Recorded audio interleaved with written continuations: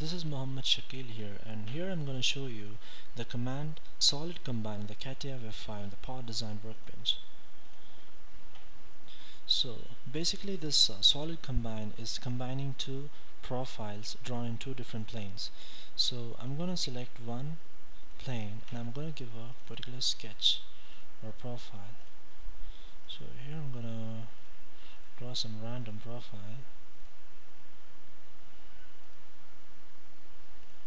and coming out of the sketch.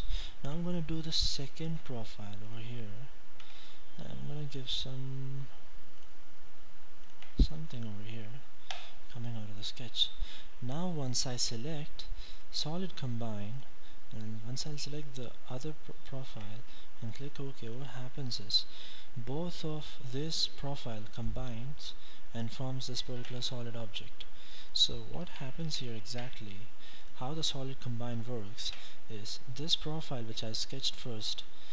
This gets completely you can you can just imagine that this is completely sketched up and this is completely it's like extruding both of the sketches and whatever is common is being formed as the solid combine so solid combine as you can see in this one this rectangle you can you can just imagine imagine you can just project this and see that this is a long rectangular solid and over here this plus is another solid object.